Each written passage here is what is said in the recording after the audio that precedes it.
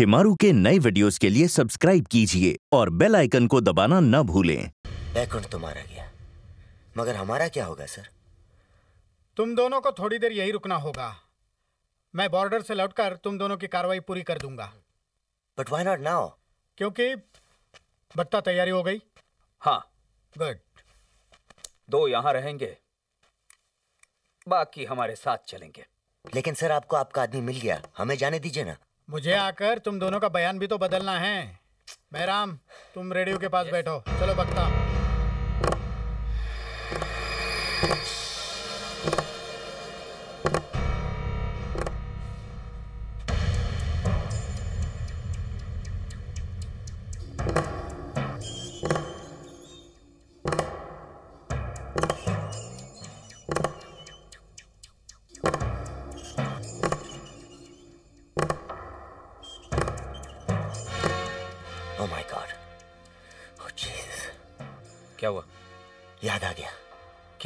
भक्ता झूले पे।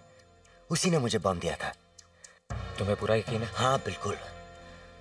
इसका मतलब हमारे साथ जो कुछ भी हुआ उसी की वजह से हुआ है। अब वो जडेजा को बॉर्डर पे खत्म कर देगा। और वापस आकर हमें अब क्या करें? करना क्या है? चल बैंड बजाते हैं।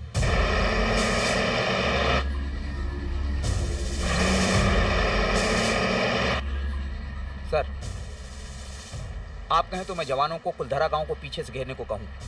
बक्ता देखो इस इलाके को मुझसे अच्छी तरह तुम जानते हो। जो भी करना है जल्दी करो लेकिन किसी भी हालत में टेररिस्ट अपने हाथ से छुटने ना पाए। सर बॉर्डर के इलाके का आखिरी गाँव कुलधारा को पीछे से घेरो और जब तक मैं कोई आदेश न कोई कार्रवाई मत करना। Okay sir.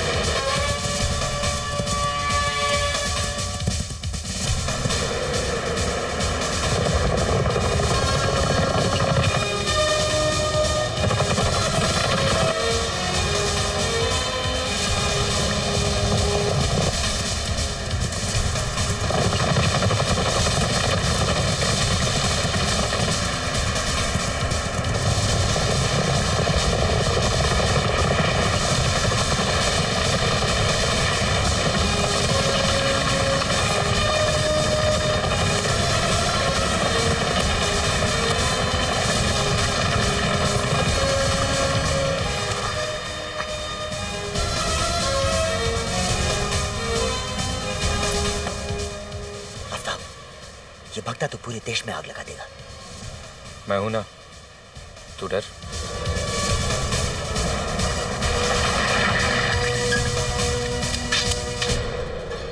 सर ये कुलधारा है। बॉर्डर का आखिरी गाँव। वो देखिए सर। ट्रक आ गए सर।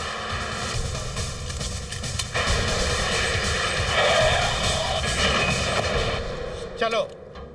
सर मैं इस गाँव को अच्छी तरह से जानता हूँ। मैं दो जवानों को लेकर आगे जाता हूँ। आप दो जवानों के साथ मुझे कवर कीजिए। कहा कहाँ गया बगुला भक्ता? दो गला साला।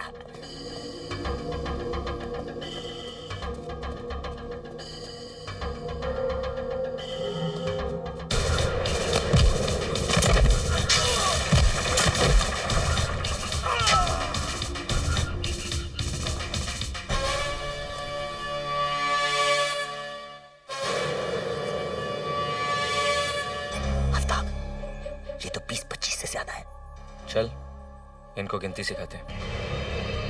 नूरा! नूरा को मारेगा है? पागल हो गया है? पीछे से भी ये ऑफिसर है मैं नाटक कर रहा हूँ। अपने आदमियों को भेजो और उसे पकड़वा कर यहाँ मंगवाओ।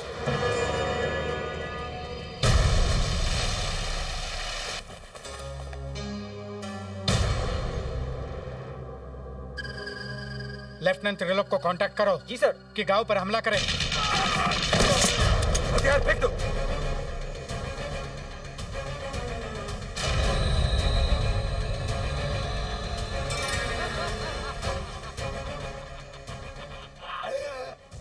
अभी तक नहीं समझा जडेजा सोराब जी गोदाम वाले टीका वाले हवलदार जेठामल ट्रेन वाले और बैकुंठ को मैंने ही मारा था।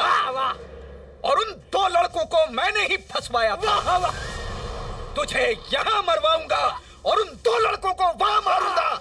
उसके बाद मैं कमांडेंट बनूँगा। मार दो साले को।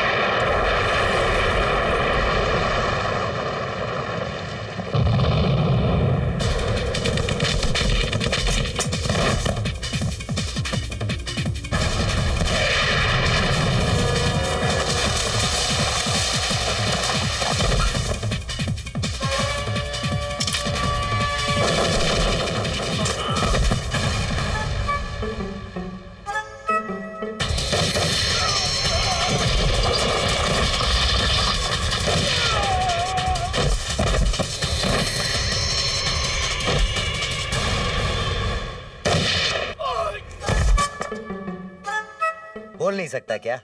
हट नहीं सकता क्या?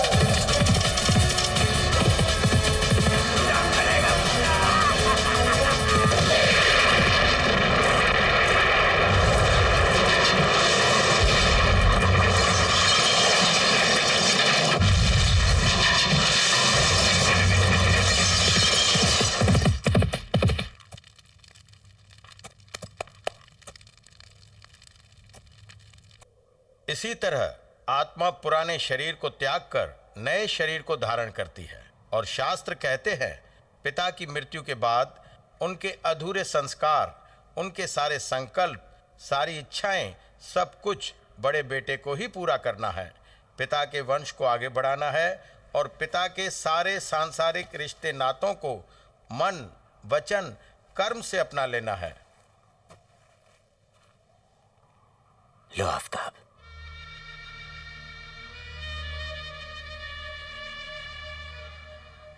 अपने हक को अपना लो।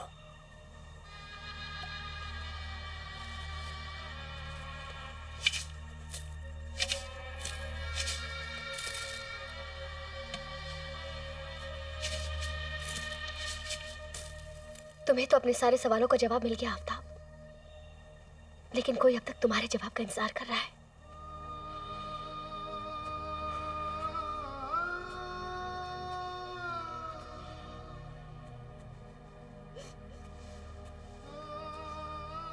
जवाब चाहती थी ना अम्मी। तो सुन, तेरा फैसला पाक था। तूने तो सिर्फ़ प्यार किया। तो काम सबको वक्त ने दिया। मैं अल्लाह मियाँ से दुआ माँगता हूँ कि वो हर औरत को तेरे बराबर की हिम्मत दे और हर बेटे की तकदीर वो जैसी अच्छी लिखे। जिसे तो जैसी अम्मी मिली।